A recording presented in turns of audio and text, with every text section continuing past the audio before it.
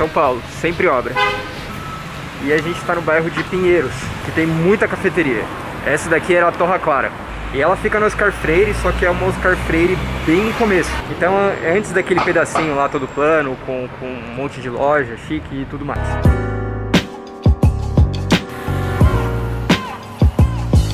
E eu realmente não sei se tem um lugar com mais cafeterias de café especial do que o bairro de Pinheiros.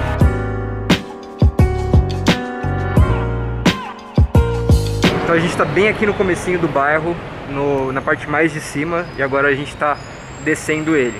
E a próxima cafeteria, ela já é um pouco conhecida.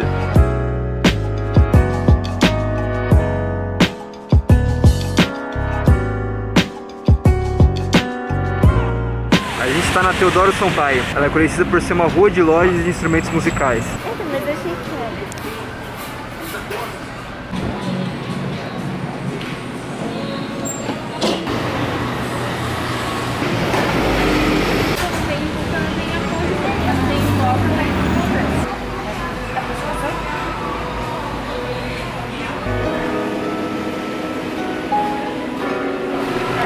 Eu já passei algumas vezes na Um Coffee lá do Bom Retiro ou lá do Terra. É a primeira vez que eu venho nessa daqui da Teodoro. É quase um quiosque assim, né? Bem pequenininho.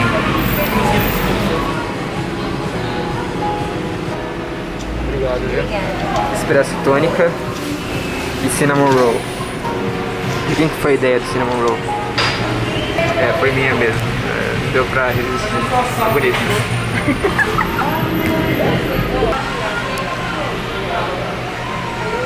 Bom?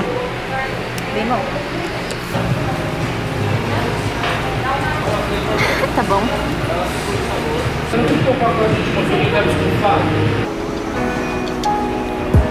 Saímos dar um coffee.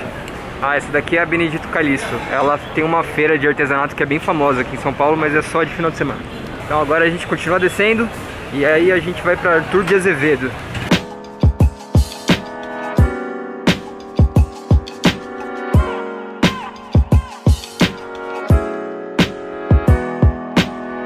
Aqui é o Futuro Refeitório. Eles também têm uma parte bem forte de café, só que eles têm panificação, eles também são um restaurante mesmo e tem a, a parte da cafeteria em si. Dá um vídeo inteiro, então não vai ser hoje.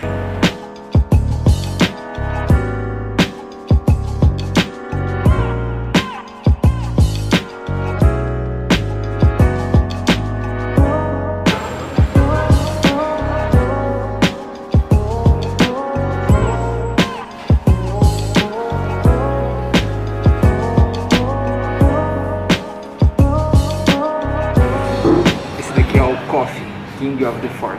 É um dos cafés mais famosinhos também daqui.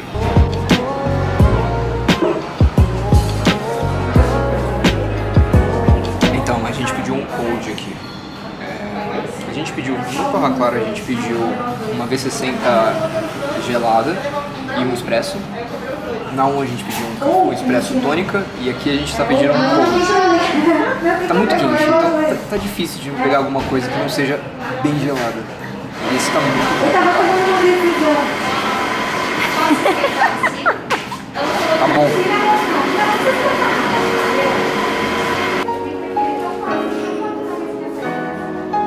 Mas ele tem alguma coisa mais herbal também, tem?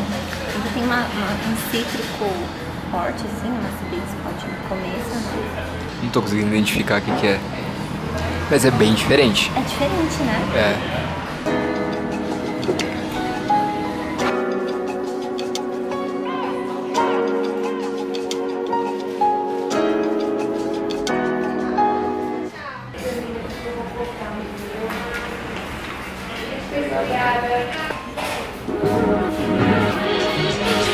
E um diferencial do Coffee é que ele tem essa proposta meio de ser uma cafeteria de parada para ciclistas.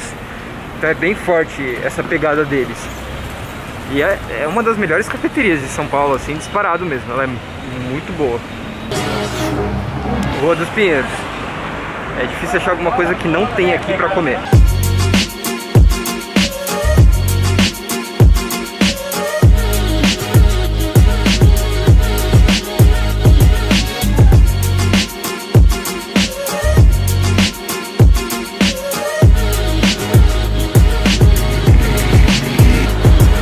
Agora a gente tá indo pra uma cafeteria que eu nunca fui aqui. Eu já fui nela, mas não aqui. É outra cafeteria.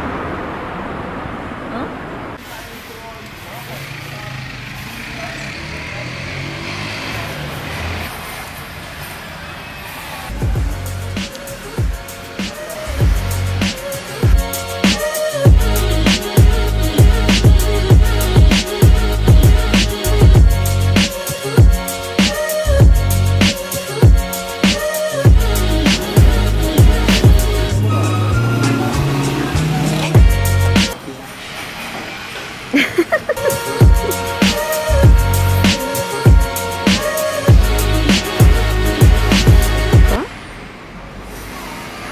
um xarope de açúcar, expresso, suco de laranja e suco de limão siciliano. É bem refrescante. É bem o que eu preciso pra aguentar hoje, porque tá muito quente. O que, que você pediu? É uma V60, só que extraída com gelo. É igual do Torra Clara, né? Qual que é o que você acha mais gostoso? É que o da torra clara ele tava um pouco aguado, né? Esse daqui tá na medida certa, tá tipo. bem bom. Eu adoro cheesecake.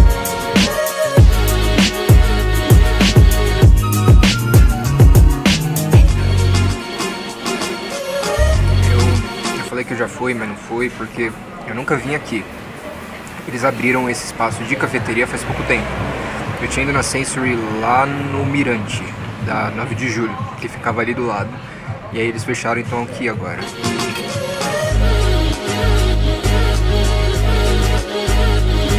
Tem mais cafeterias por aqui ainda. Mas é. Essa daí foi o que nosso orçamento conseguiu pagar. Ainda tinha Little Coffee Shop que estava fechado, ou o Pato Rei também. E o Pato Rei ainda abriu outra cafeteria que é um pouquinho maior. Eu acho que ainda eles não estão fazendo, fazendo lá. Tipo, mesmo sendo maior, ainda é to go nesse novo, nesse novo espaço. Mas também é aqui, na, é aqui em Pinheiros. E além de tudo, tem o Coffee Lab também, que é quase Vila Madalena barra Pinheiros.